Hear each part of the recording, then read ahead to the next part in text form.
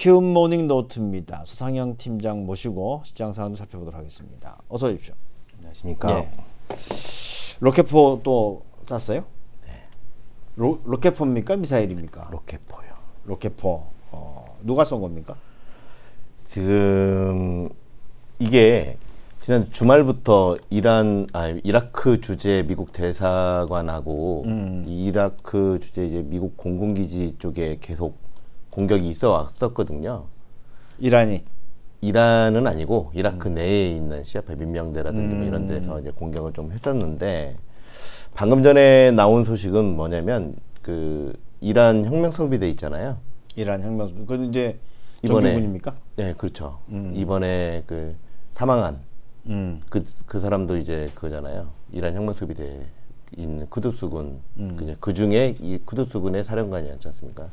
그쪽에서 그 성명서를 발표했는데 자기들이 공격했다라고 발표를 했습니다. 그러면 이제 피해 보복이 시작되는 겁니까?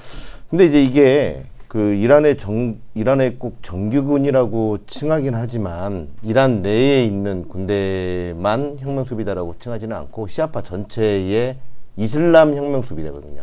그러니까 시아파 내에 혁명 수비대이기 때문에 이게 꼭 이란의 그 정규군이 공격을 한 거냐 아니냐 이 문제는 조금은 달라질 것 같은데 일단은 중요한 건 혁명수비대가 이란의 그, 아, 이라크 주재 미국 공군기지에 공격을 했고 이 결과 지금 현재 시간의 선물로 미국이 한 0.7에서 0.8% 빠지고 있는 상황이라고 보시면 될 것 같습니다.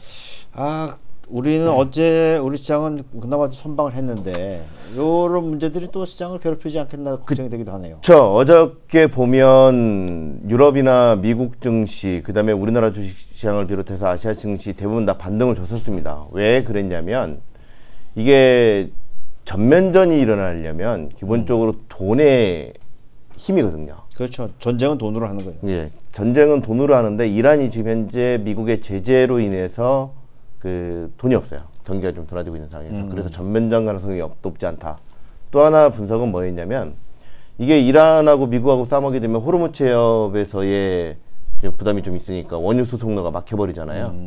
근데 이제 이, 이쪽을 통해 가지고 수입을 하는 데가 어디냐면 아시아. 그렇죠. 특히 이제 중국이나 인도 같은데.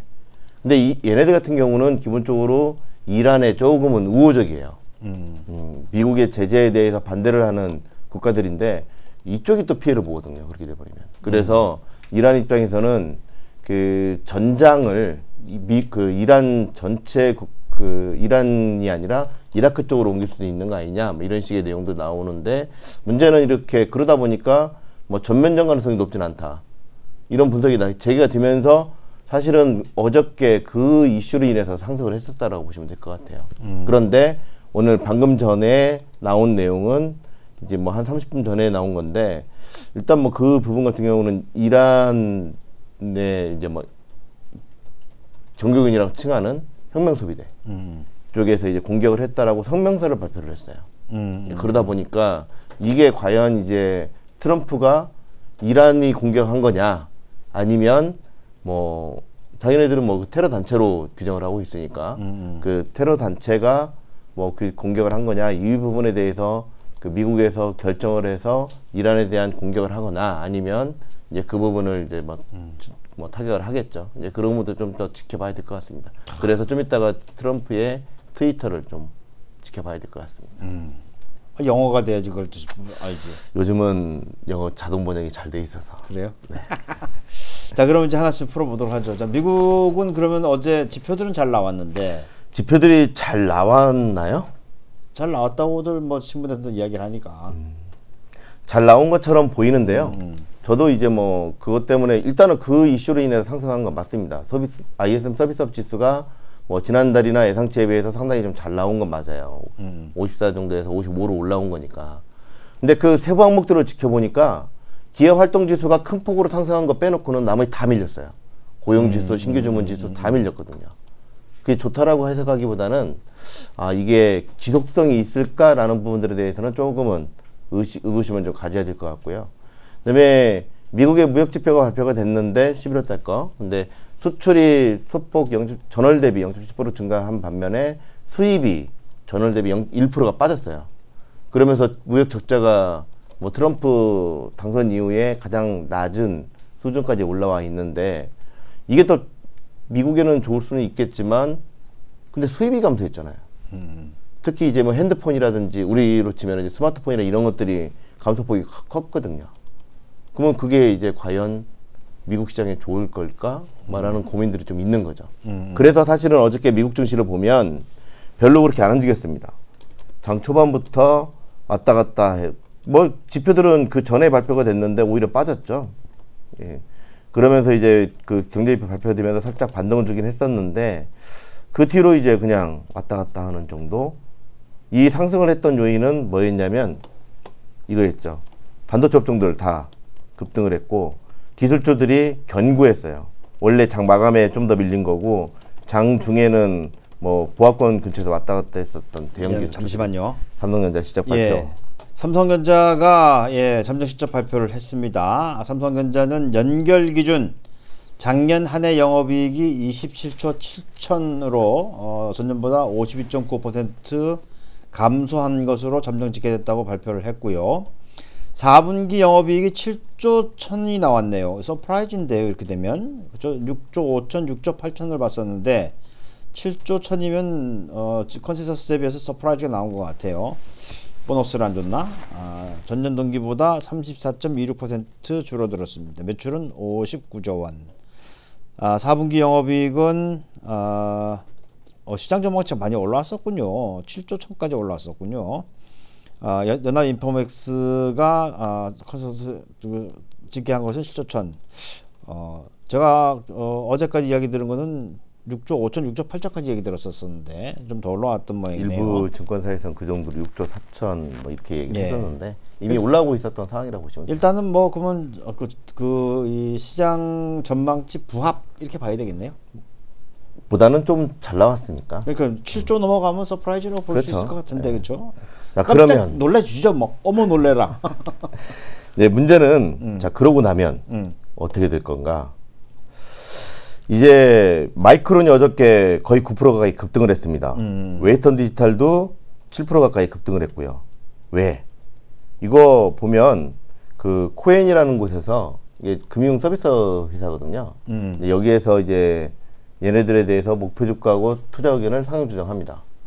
보면 목표 주가를 얼마나 상향 조정했냐면 어마어마하게 했습니다. 50달러에서 70달러. 오. 많이 했죠.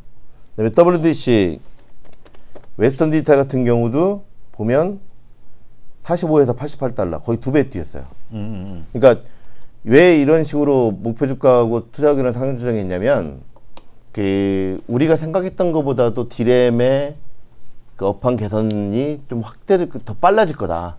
이런 소식이 전개되면서 이제 상승을 한 거죠. 오늘 새벽에 도시바 불났대요. 음, 더 올라가겠네. 예. 이제 뭐 그런 내용들. 이제 근데 문제는 이게 다 반영이 돼 있는 거예요. 작년에 거의 70% 80% 뛰었는데 음. 이거 보면 장난 아니죠. 거의 1년 전에 비해서 마이크론이 거의 71%, 애플 애플은 100% 뛰었어요. 이런 식으로. 이게 작년에 비해서 1년 전에 비해서 상당히 많이 올라 이미 다 많은 분들이 반영이 돼 있는 거예요. 70%씩 다 올라가 있는 상황이어서. 왜 그러냐면 작년에 계속 마이 그 반도체 업종들의 실적들이 별로 안 좋았었거든요. 그럼에도 불구하고 주가는 계속 올랐습니다. 그러면 올해 실적 개선되는 부분들에 대해서는 이미 많은 부분들이 반영이 돼 있다고 봐야 되죠. 음. 그 결과는 이게 만약에 실적 발표를 하고 나서 오늘 삼성전자도 마찬가지입니다.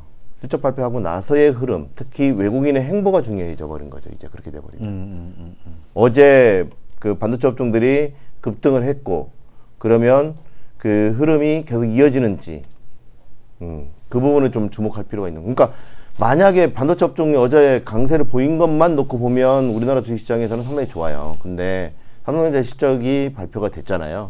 그에 따른 외국인의 행보, 차익 매물을 내놓을 거냐, 아니면 surprise 때문에 더 매수할 거냐, 이 부분이 좀 관건인 거고.